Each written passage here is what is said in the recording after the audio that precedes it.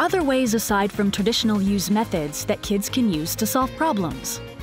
This video will cover the three different strategies that kids can use to solve addition and subtraction problems.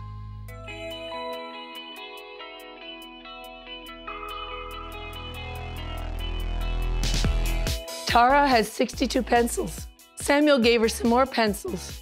Now she has 91 pencils. How many pencils did Samuel give her? Today we're going to solve this problem with the open number line.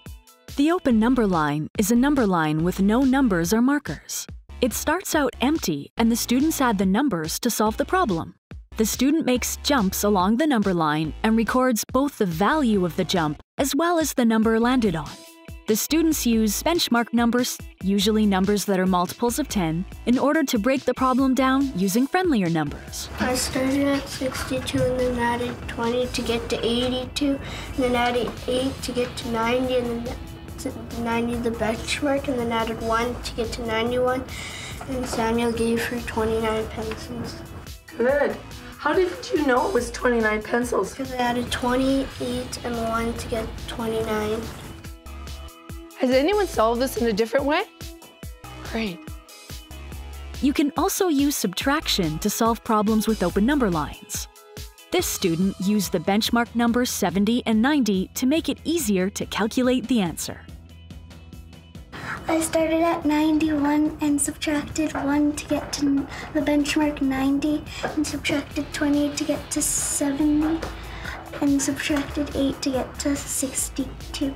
My sentence is Samuel gave Tara 29 pencils. How did you know it was 29 pencils? Because I added the 1, 20, and 8. Great. Okay, boys and girls, raise your hand if you can tell me how are these two solutions the same?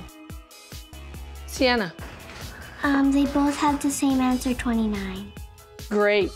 And how are these two solutions different? Keegan.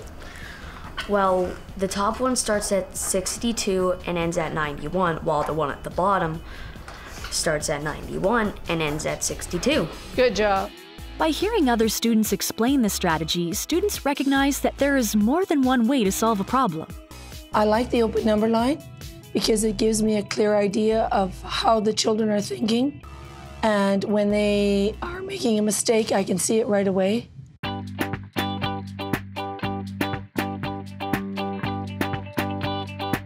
Another strategy students can use is compensation. Students can add to or subtract from a number to make it a friendlier number, which is easier to work with, and then compensate at the end to keep the total correct. Tell me what you did to solve this problem. I started at 82.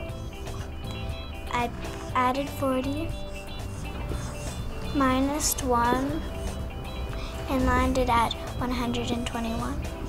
They know when 39 is close to 40, so they just go ahead and add 40 and then take away one, and then they've got 39, which is actually a hard number to add. But with compensating, it's very easy. Compensation is a good strategy to use when a number you are using is close to a friendly 10. Here, 39 is close to 40.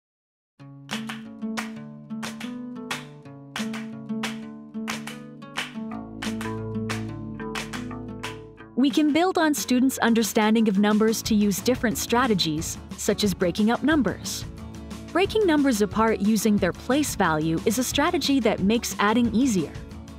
We're going to use breaking up numbers to solve this problem.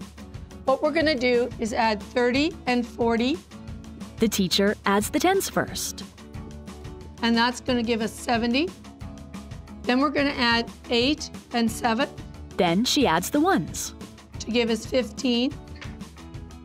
Then we add 70 plus 15 to give us 85. Ultimately, it does not matter which strategy a student uses. Can you tell me why you like this strategy? Because when you break up numbers, that means you can break up the tens and ones. That means, and if you do it piece by piece, that makes it easier. Good, good answer. What is most important is that they understand how they got their answer and are able to explain it.